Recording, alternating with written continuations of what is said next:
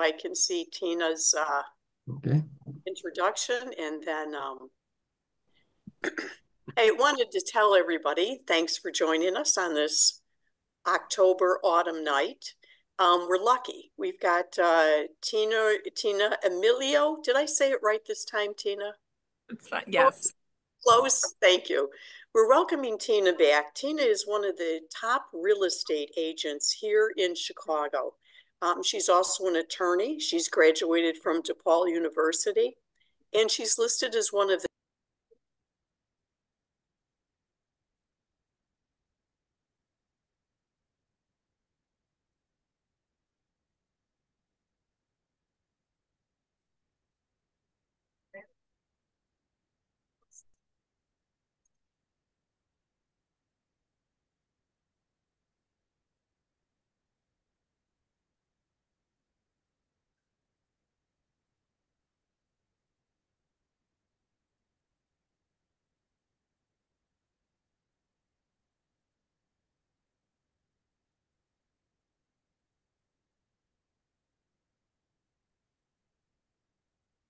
Boa noite a todos.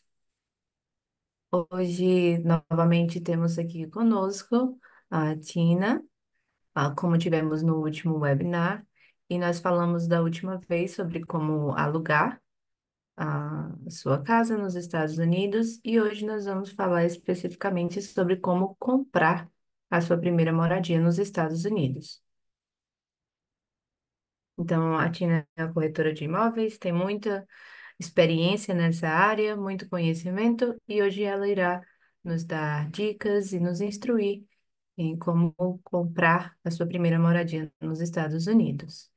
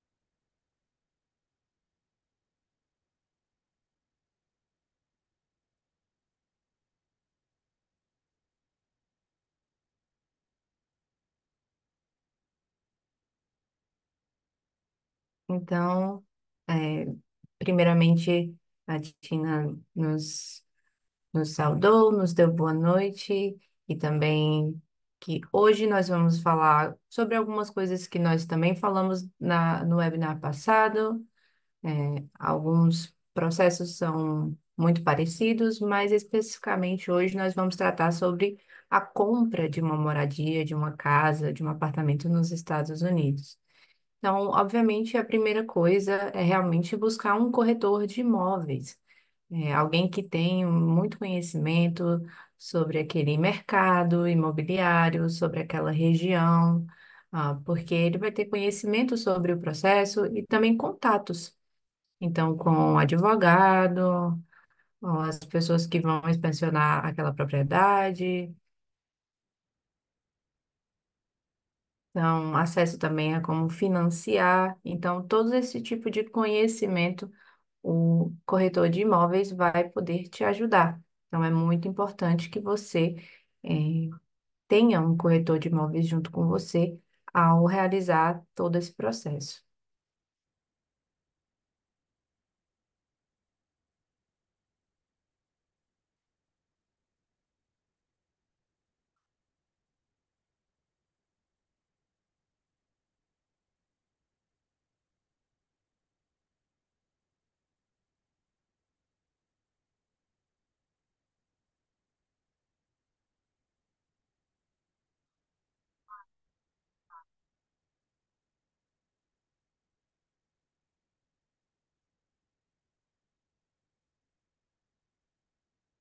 Então, é, para falarmos um pouco mais sobre as vantagens de você estar com o corretor de imóveis nesses processos, é que ele vai te ajudar em tudo isso, vai te guiar e também a tomar as, as melhores decisões, porque eles têm o conhecimento para sobre todas as propriedades que estão disponíveis, sobre as taxas, ah, sobre os preços que se estão praticando no mercado.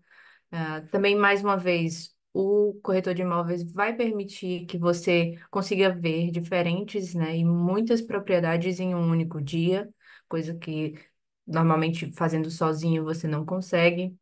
Então, o corretor de imóveis vai poder te mostrar todas essa- essas opções, eh, vai te ajudar com a questão do financiamento também, com como você pode fazer, como você pode aplicar, né, fazer uma, uma proposta ali em relação a alguma propriedade. Então, ah, inúmeros benefícios de ser acompanhado por um corretor de imóveis neste processo.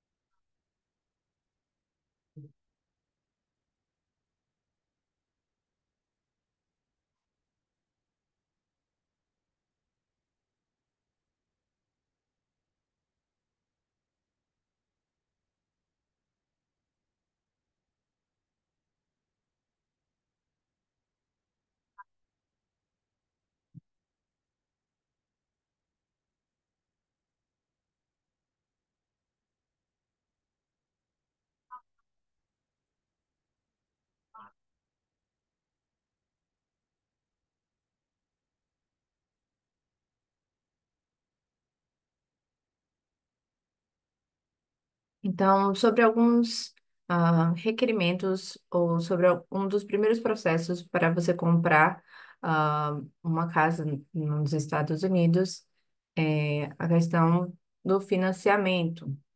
É, são poucas as pessoas que vão comprar à vista ou fazer o pagamento em dinheiro. É, na maior parte das vezes, as pessoas vão fazer um, um financiamento, então, uma hipoteca. Então, existem diferentes tipos nos Estados Unidos de hipoteca.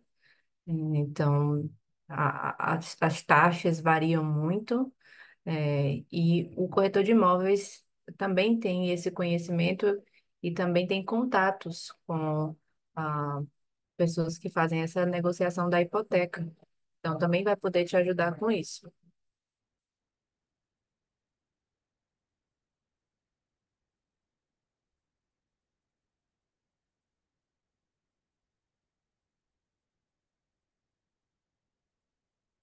Então, também o corretor de imóveis vai te indicar, vai te falar sobre programas do governo, ah, às vezes para as pessoas que estão comprando a casa pela primeira vez. Então, o corretor de imóveis vai te guiar em, em todas essas questões e vai te ofertar todas as possibilidades que existem.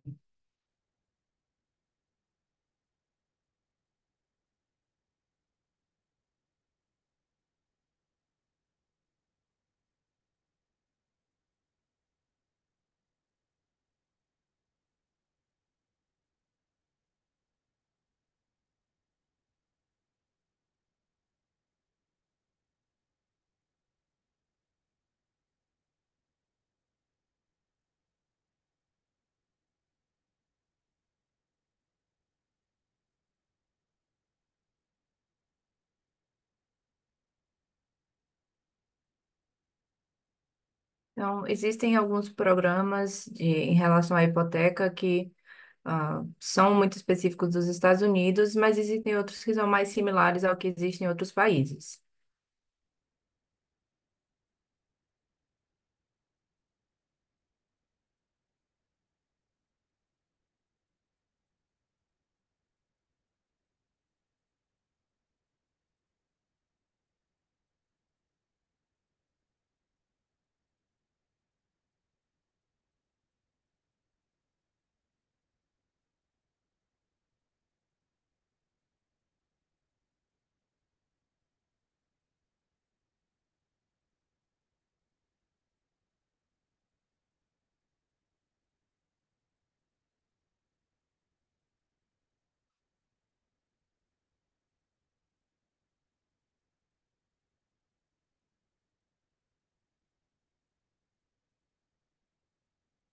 Então, um dos documentos que são importantes nesse processo, é, então, quando você vai financiar ou para estabelecer uma hipoteca, é, o que o seu contra-cheque, o que você recebe ah, todo todo mês, aquele valor fixo que você recebe todos os meses, ah, ah, uma verificação da- do, do, do seu vínculo empregatício, um documento ali do seu empregador.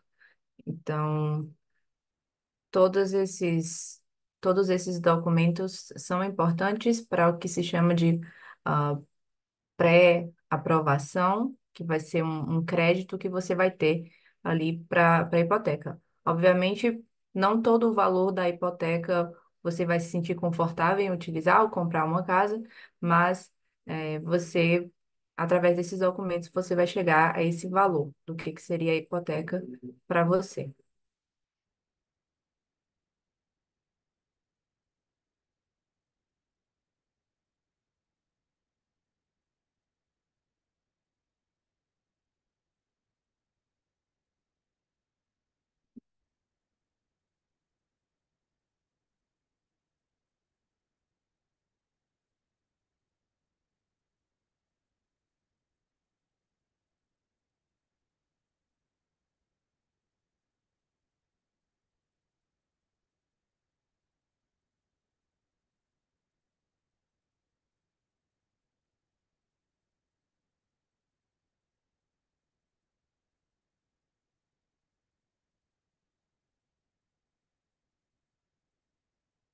Então, aqui, dando continuação ao que estávamos falando no último slide, é importante que você saiba determinar o quanto você pode pagar, quanto você pode, é, oferecer, né, colocar naquela oferta.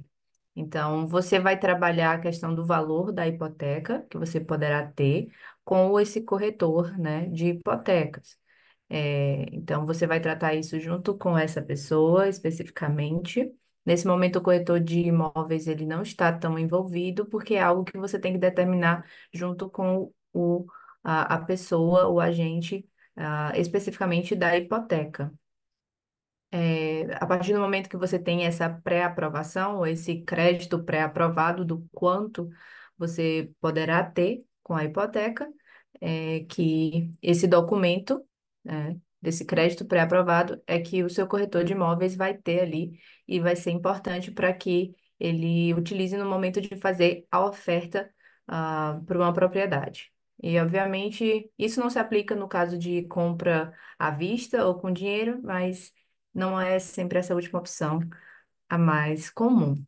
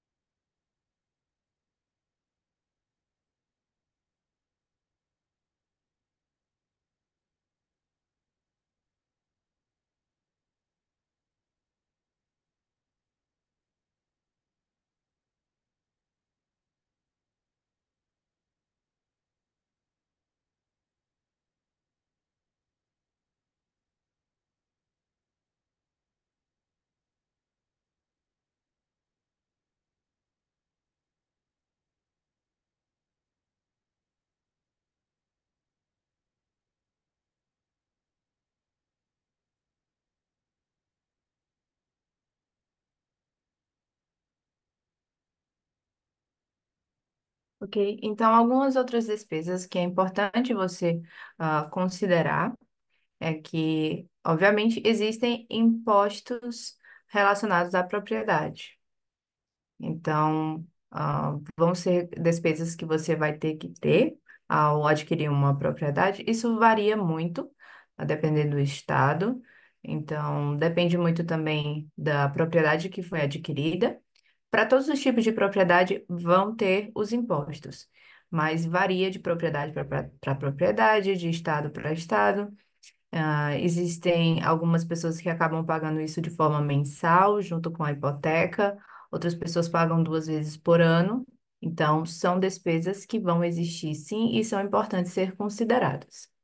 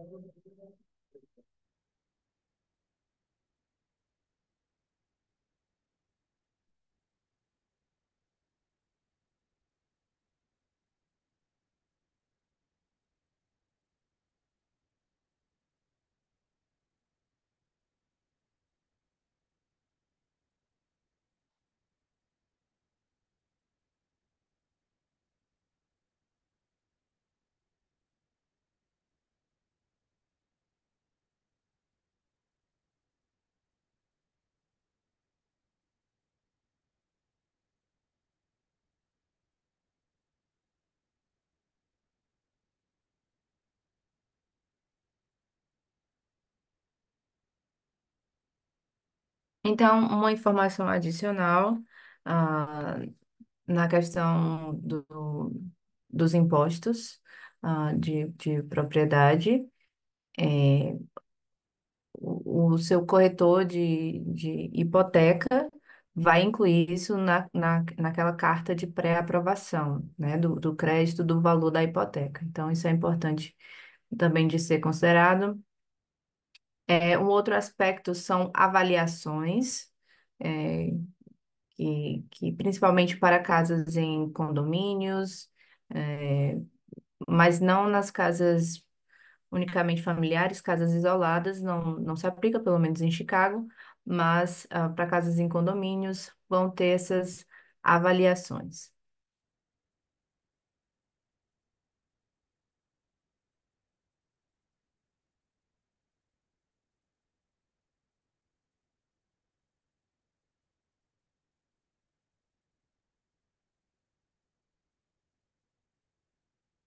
Então, casas isoladas que não estão em um condomínio não vão ah, pagar por esses assessments, essas avaliações, ah, somente em, em condomínios ou, ah, ou uma espécie de casa, casa conjugada, e aí eh, incidem essas avaliações, esses assessments.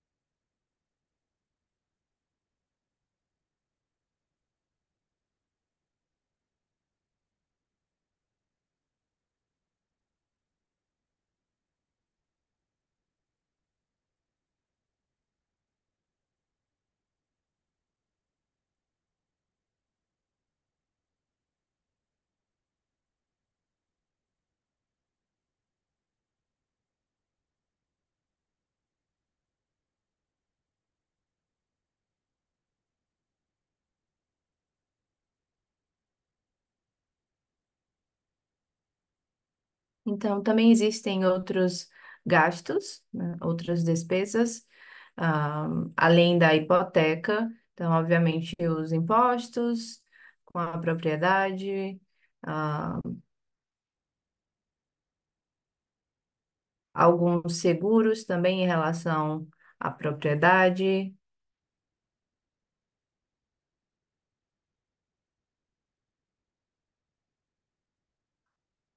Então, por exemplo, como no caso que estamos vendo na Flórida, ah, alguns seguros contra inundações, contra furacões. Então, é algo que são despesas, são contas adicionais que você pode ter que pagar.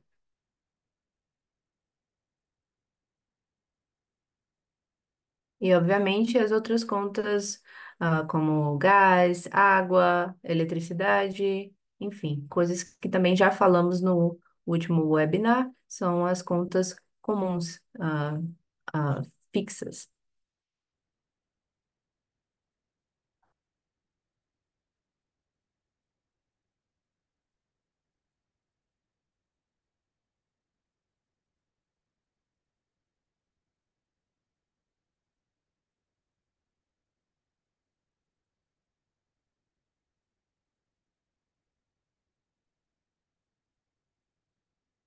Então, aqui nesse slide, o que vocês estão vendo são tipos diferentes de propriedades, ah, dos, dos quatro tipos mais comuns que se utilizam nos Estados Unidos. Então, ah, single family home seria uma moradia ali isolada de casa, não, não fica em um condomínio ou em uma comunidade, vamos dizer assim, em um condomínio. Ah, duplex ah, também uma casa em um condomínio é um terceiro tipo. é, e também o que se chama de townhouse, que seria uma espécie de ah, casas conjugadas que es- estão dentro de uma comunidade, de um conjunto. Então, esses são alguns dos tipos mais comuns de propriedades de moradia nos Estados Unidos.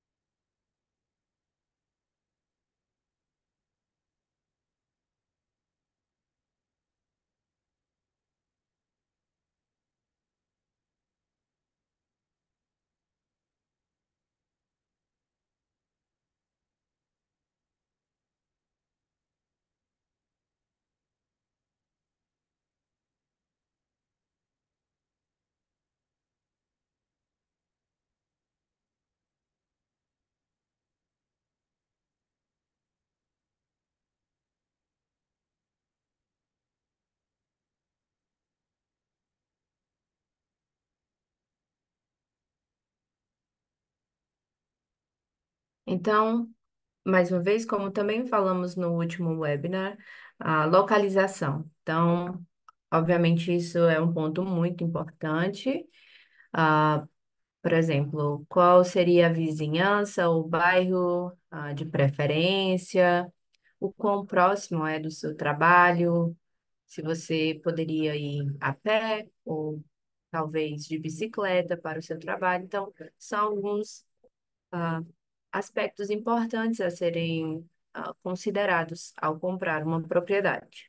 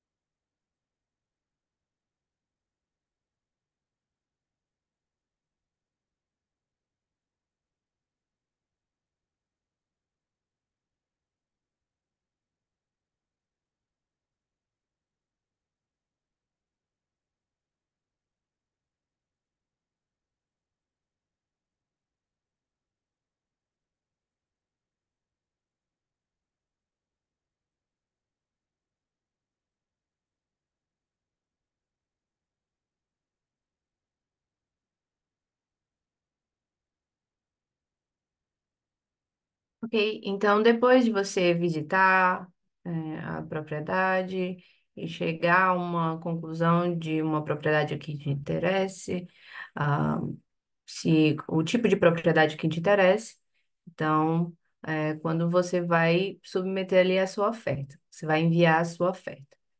Então, ah, vai ter a parte ali da, da, dessa pré-aprovação, ah, e você é, vai fazer ali o contrato de, de compra é, e vai enviar. Nesse contrato, obviamente, vai ter o valor da oferta, ahn, vai ter a parte da negociação, né? Quanto você ah, faria ali o pagamento da entrada, quanto ah, você financiaria, ah, quanto você tem pré-aprovado para fazer a hipoteca.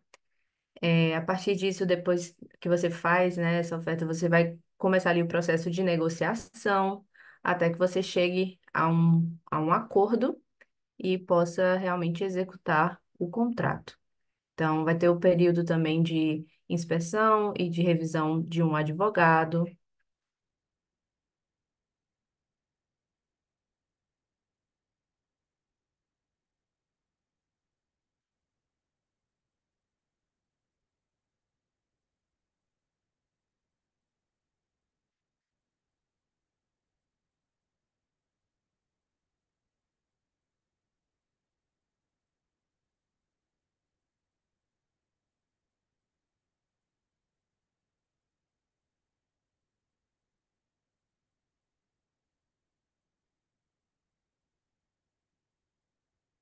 Então, com toda a parte dos documentos, da pré-aprovação, do contrato que você está fazendo a oferta, o seu corretor de imóveis vai submeter toda essa documentação para o agente do vendedor. Então, vai começar o período da negociação. Então, o agente do vendedor vai analisar, e aí começam as negociações, o que se coloca, o que se tira. Então, realmente negociando como vai ser o resultado final. E assim ficam nessa, nessa negociação até chegar a um acordo.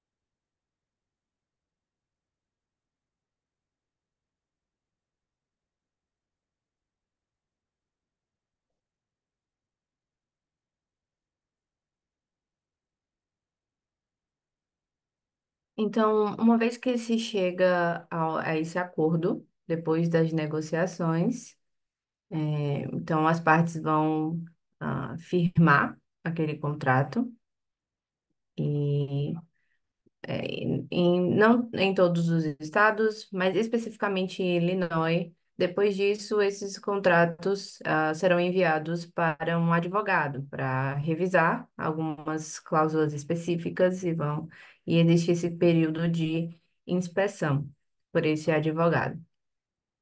Então, ah, nesse momento pode haver ah, algum ajuste.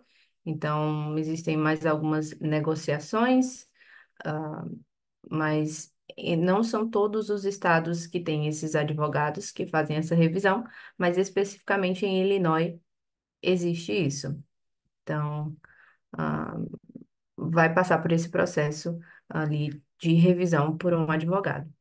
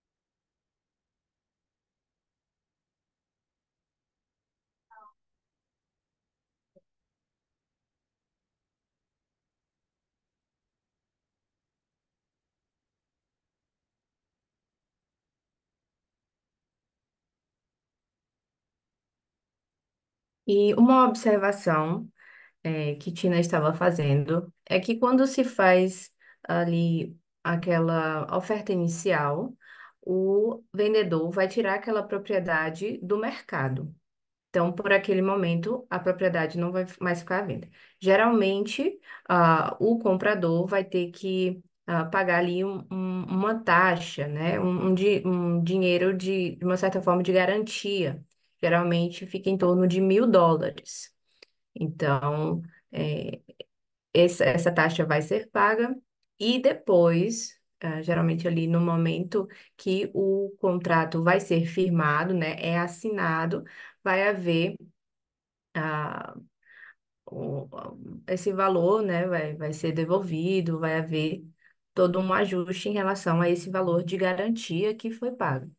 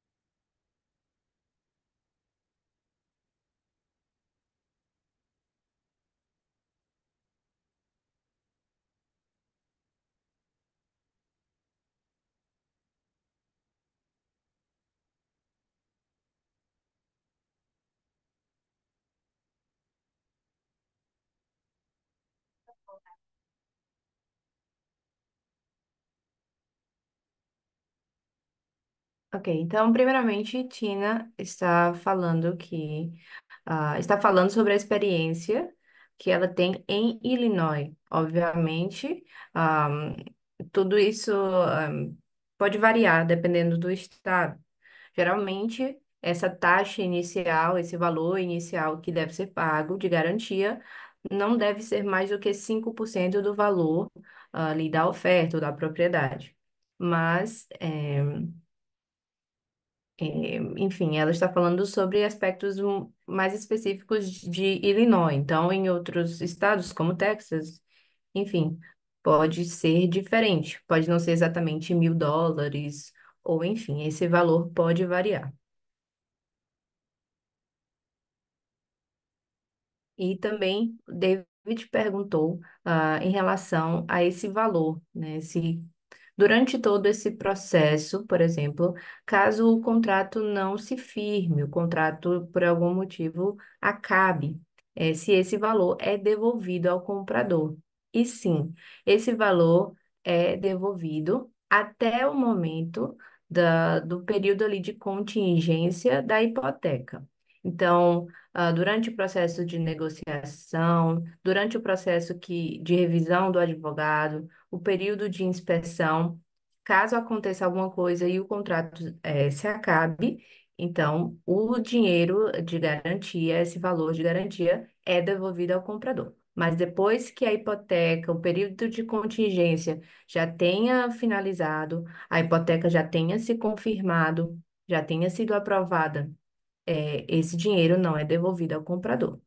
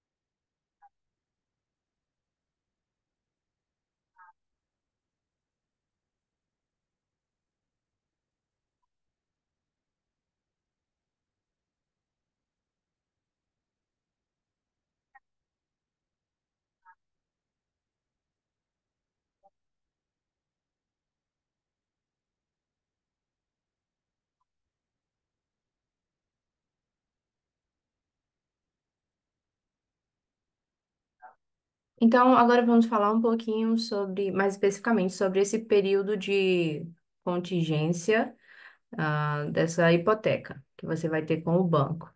Então, lembrem que no começo você vai ter aquela hum, hipoteca pré-aprovada. Então, vai ter uma pré-aprovação. ah, eles vão já ter analisado vários fatores, né? Como falamos sobre ah, você tem uma renda fixa, enfim, é, a, a- documento do seu empregador, é, enfim. Então, por mais que você tenha essa pré-aprovação, você esteja pré-aprovado, ah, existe esse momento, é, de contingência, esse período de contingência da hipoteca. É é um período que alguns documentos mais vão ser pedidos, vão ser solicitados, e é um período ali em que, para ser confirmada essa hipoteca.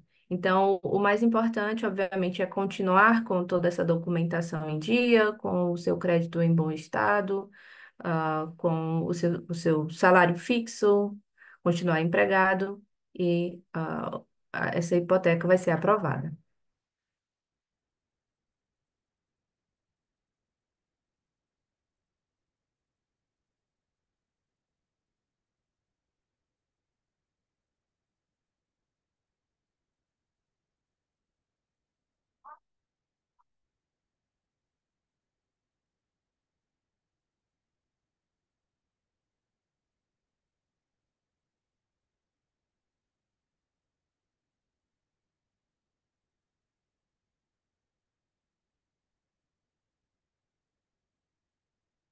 Então, depois de todo esse processo, depois que a hipoteca realmente é aprovada, todo esse processo termina, então você está ali na parte final, né, para fechar o negócio, realmente fechar o negócio na compra da sua casa. Então, geralmente, nesse período é quando você vai fazer ali uma última visita, ah, uma última inspeção da propriedade, do, do condomínio, da casa, enfim, se está no mesmo estado que você viu quando você fez a, a, a oferta inicial. Ah, então, é, essa, essa última inspeção antes que você realmente feche o negócio na compra da casa.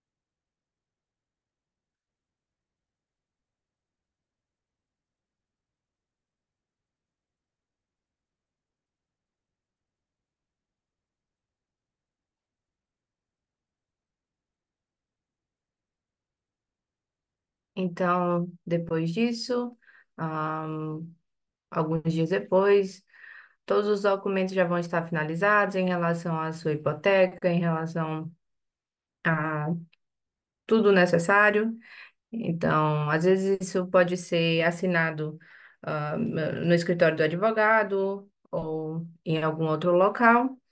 Então, nesse dia você vai lá, ah, com seu passaporte, algum outro documento, eh, de identificação e você vai preparado para assinar um, um monte de documentos, muitos documentos, toda a papelada, uma caneta, você leva uma caneta também, ah, porque você vai ter muita coisa para assinar. Você vai ter a chance de revisar esses documentos antes, mas são os passos finais para você fechar o negócio.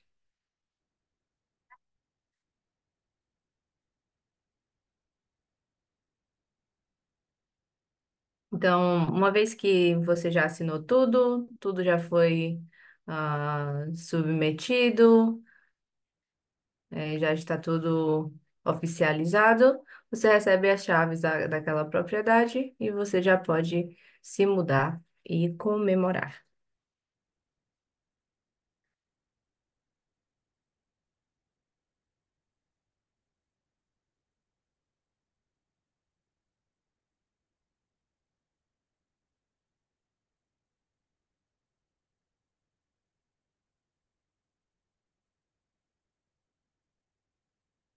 Então, ah, essa foi a apresentação de hoje.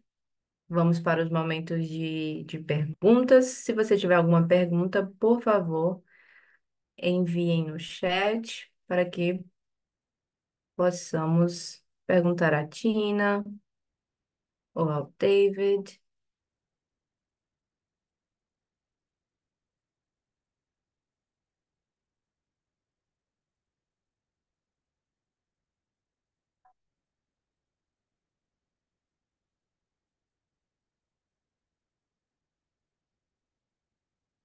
Se alguém tem alguma pergunta, vocês podem enviar pelo chat ou podem também levantar a mão.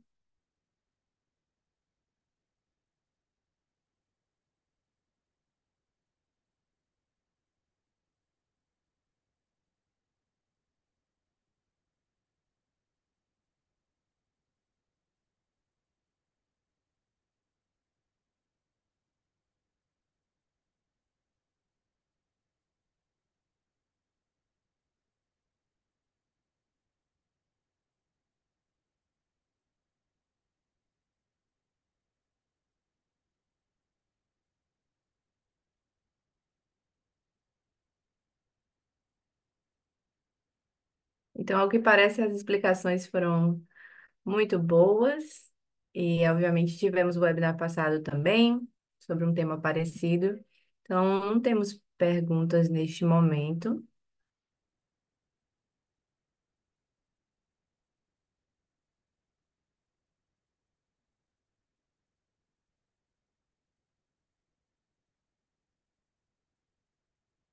Então, uma pessoa fez uma pergunta: se você está comprando uma casa pela primeira vez, ah, você precisa ter uma pessoa ali que vai ah, assinar junto com você, por exemplo, para que você obtenha uma hipoteca?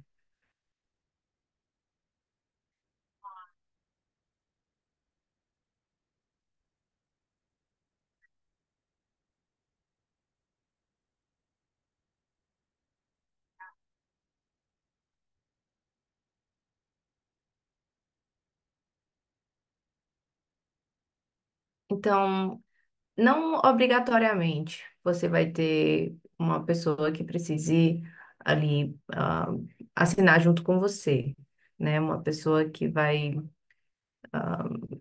Você vai, ah, obviamente, vai ser analisado tudo no momento da, da pré-aprovação para para a hipoteca.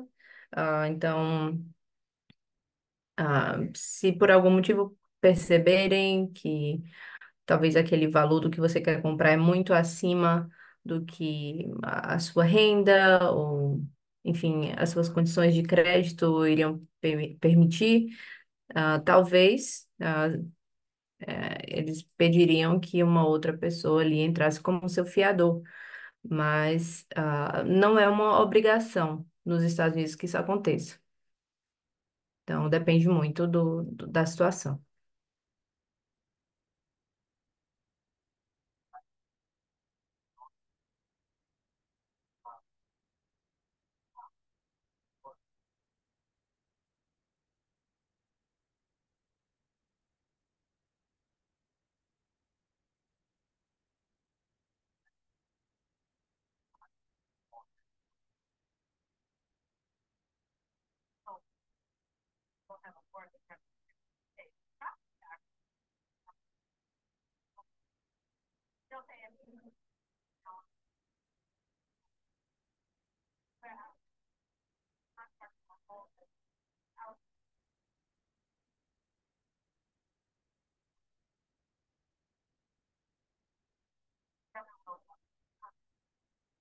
Então, uma outra pergunta que, que tivemos era se você paga à vista ou em dinheiro, se você continua pagando a casa. E não, o valor da casa você já pagou, né? Se você pagou ali à vista ou em dinheiro, ah, você já pagou aquele valor e pronto. Obviamente você vai continuar pagando os impostos relativos à propriedade, ah, as contas fixas, ah, mas não em relação à hipoteca ou financiamento ou algo do tipo. Então, o valor da propriedade você já pagou. Mas, obviamente, as outras ah, taxas, né, impostos, você vai precisar pagar. Ou um seguro, por exemplo, sim, você vai precisar pagar.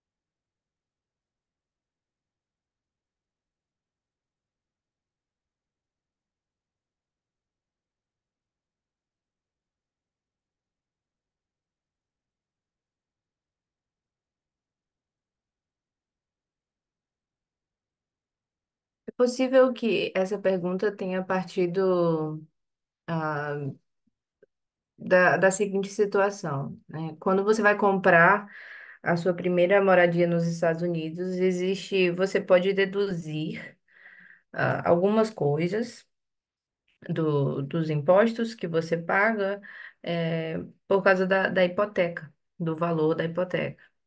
Ah, então, eh, talvez possa vir daí essa ideia de que se você, né, paga aquela propriedade à vista, ah, você, ah, na verdade, não estaria fazendo o melhor negócio, né? Que o melhor negócio seria fazer a, a, a parte da hipoteca para ter essa dedução do- dos impostos. Então, não seria financeiramente o mais conveniente. Então, pode ser que essa pergunta venha, venha disso.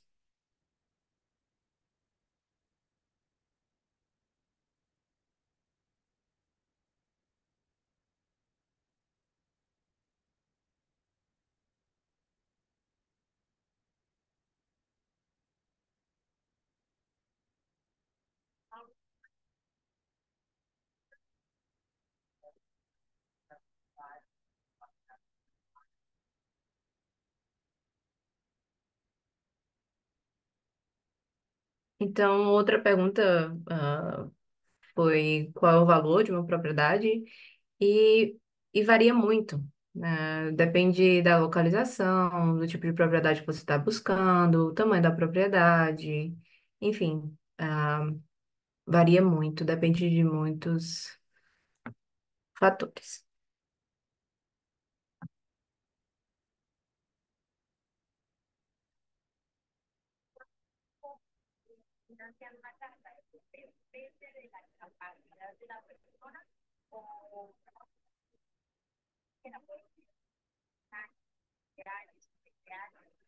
o cuánto tiempo es lo mismo y cuánto más.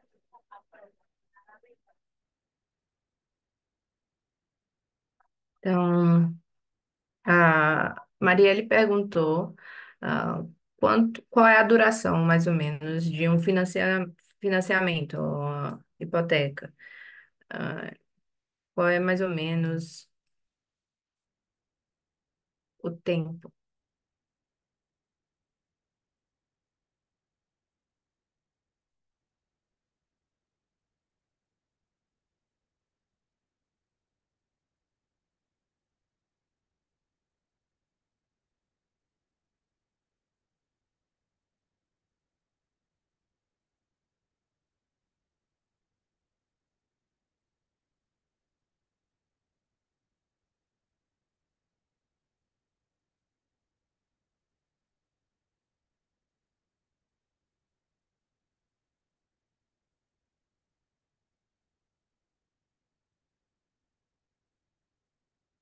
E a resposta é que isso também varia.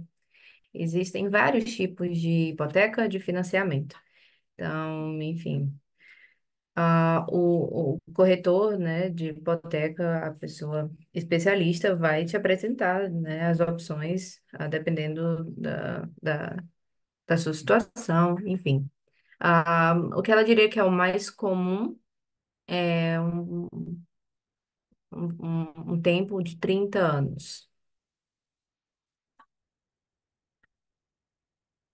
E também, se você escolher eh, essa hipoteca de 30 anos, não significa que você não possa pagar antes ou renegociar, enfim, existem várias opções.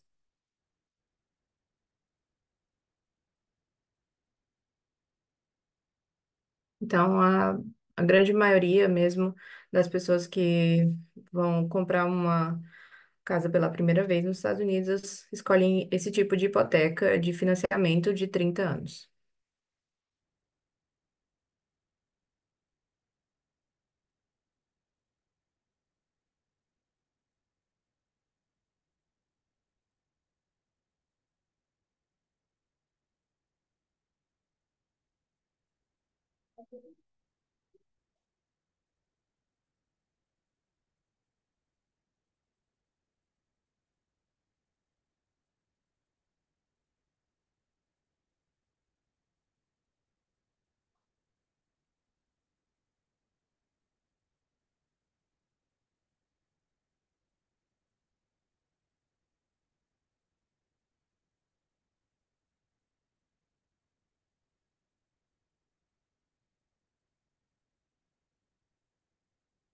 Sí, señor. Listo. Um, once we will be working in the United States, how long is needed for for having the opportunity to buy a new home? You can buy, um, well, I guess you can buy a new home from day one. You can arrive as a new resident to the United States and buy a home the very next day. The question comes out maybe the interest rate or how much money are you going to put down. Eh, Cecilia, en realidad, um, uno puede comprar. Então, a, a pergunta da Cecília foi, ah, depois de quanto tempo que você chegou nos Estados Unidos, você pode comprar uma moradia.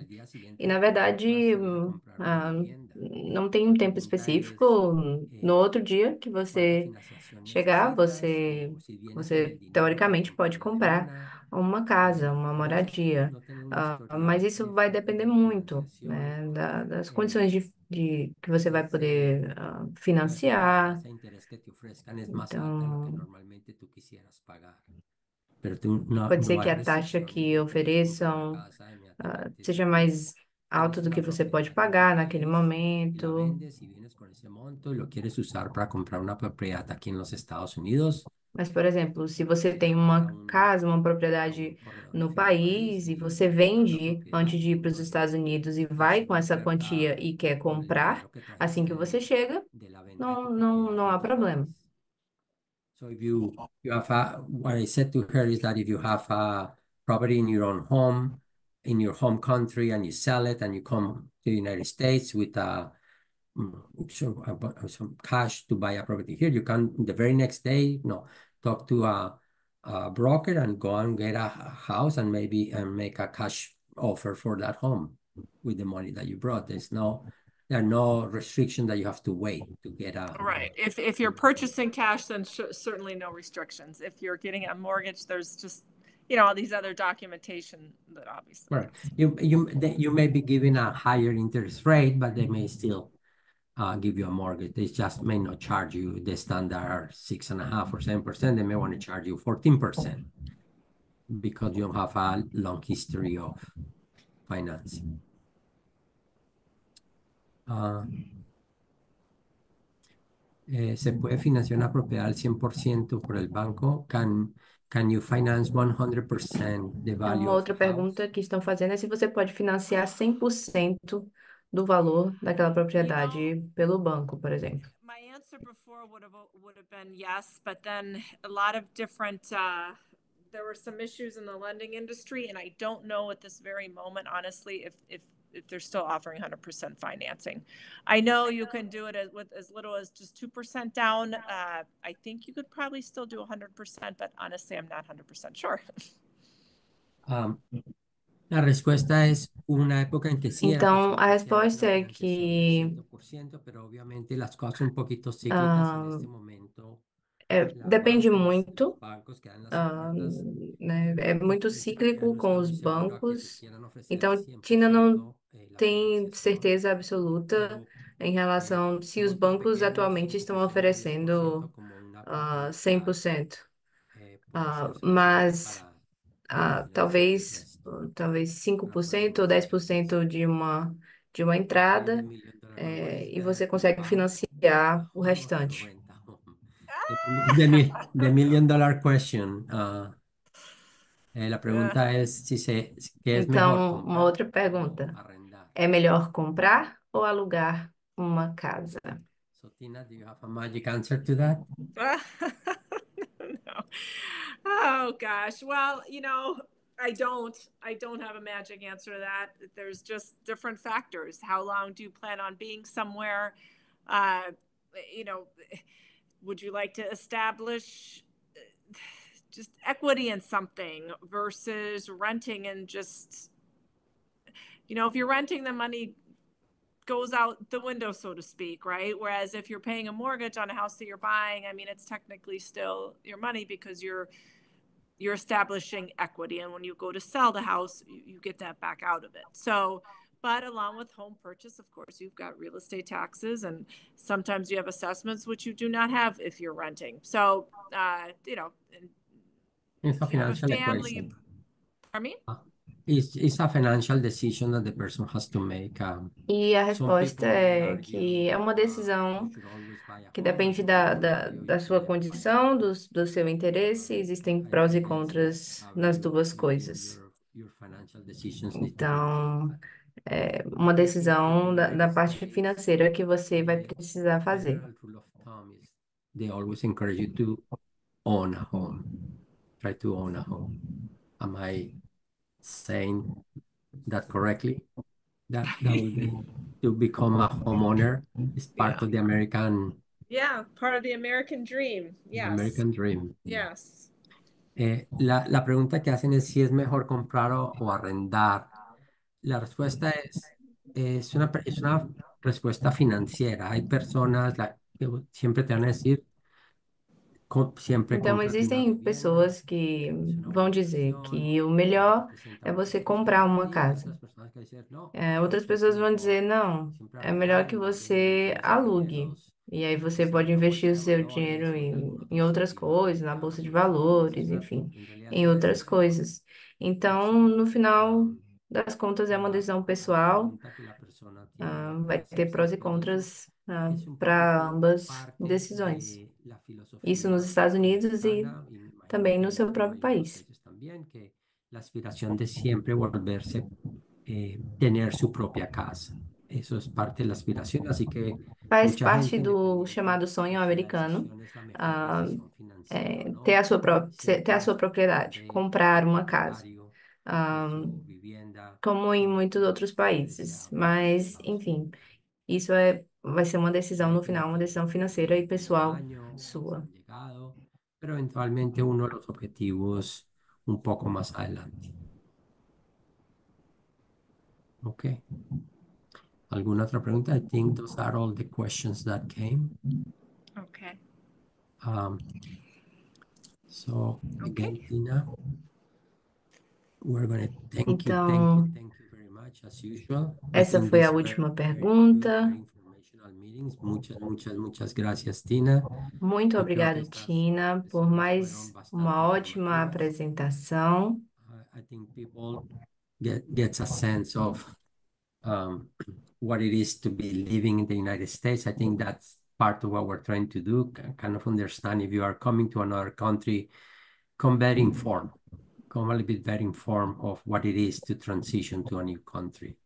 Yeah. Eh, nuestro objetivo en estas charlas de la parte Então, nosso objetivo ah, nesses dois últimos webinars é que você ah, tenha, tenha essa, essa informação, vocês, ah, o esa sonho de vocês ir para os Estados Unidos, vocês estão batalhando para isso, então é muito importante ir com todas essas informações para tomar as melhores decisões ao chegar lá. Congratulations to everyone.